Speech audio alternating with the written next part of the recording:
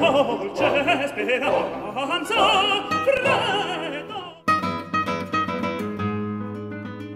domanderemo domanderemo amore amore mai da guidar ricercheremo ricercheremo.